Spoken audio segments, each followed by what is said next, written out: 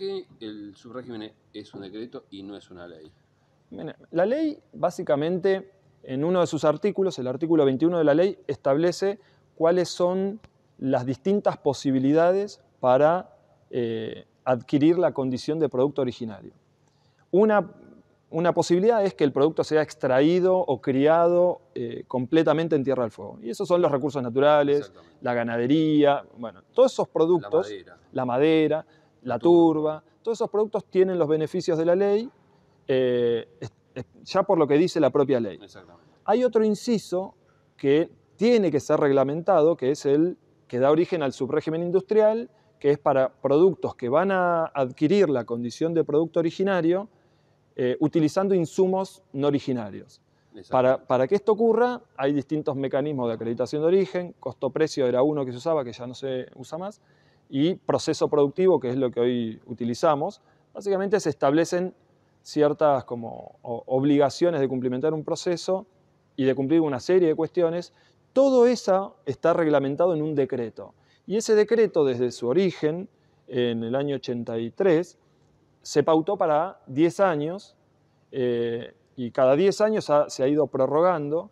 la última prórroga es del 21 que se da por 15 años, prorrogable por otros 15, es la más extensa que se ha dado. Es un decreto dinámico. Es un decreto... Se va adecuando exactamente. cambios tecnológicos y a las necesidades.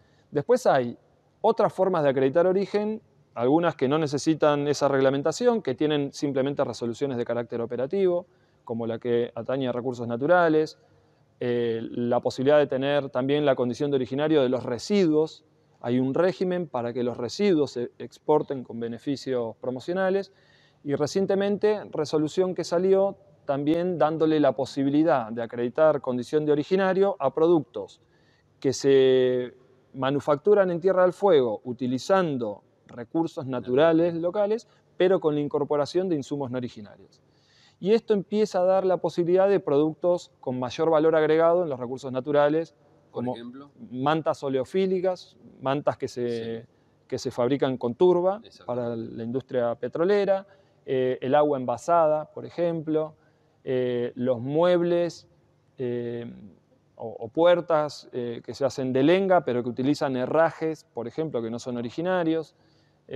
bueno, y así hay, varios. Hay, hay una, una conversación para que la cerveza fabricada localmente también pueda obtener la condición de producto originario, que esto podría también suceder. Hasta ahora no ha pasado, no se ha tramitado, digamos, ninguna empresa cervecera esto, pero es algo que podríamos también eh, otorgar como reconocimiento a la condición de producto originario. Exactamente. Entonces tenemos la ley y tenemos su régimen. ¿Depende exclusivamente de Tierra al Fuego o la ley nacional tiene organismos nacionales que lo regulan? ¿Cómo se maneja? ¿Quién los regula? ¿Quiénes participan? El régimen es un régimen nacional. Eh, se establece en una ley nacional y fija como autoridad de aplicación a la Secretaría de Industria de la Nación, que ahora está dentro del Ministerio de Economía de la Nación, y ellos son los que tienen la facultad eh, de normar cuestiones vinculadas principalmente al subrégimen de promoción industrial. Después, ingresos públicos tiene facultades en general sobre la 19640 y la provincia tiene un rol también eh, en, este, en la 19640 en general y en el subrégimen industrial, eh, principalmente de control, de cumplimiento de requisitos para adquirir la condición de producto originario. Tiene un rol también, hay una institución creada en torno al régimen, que es la Comisión para el Área Aduanera Especial, que reúne a la provincia, al gobierno nacional, a las cámaras empresarias, a, los sindicatos eh, y a las municipalidades. ¿Es una organización que verifica el buen cumplimiento de la ley de las empresas y de los comercios? Sí, en realidad en la Comisión para el Área de Manera Especial se discuten cuestiones principalmente vinculadas a la acreditación de origen y a, a estas, si se quiere, requerimientos del subrégimen industrial.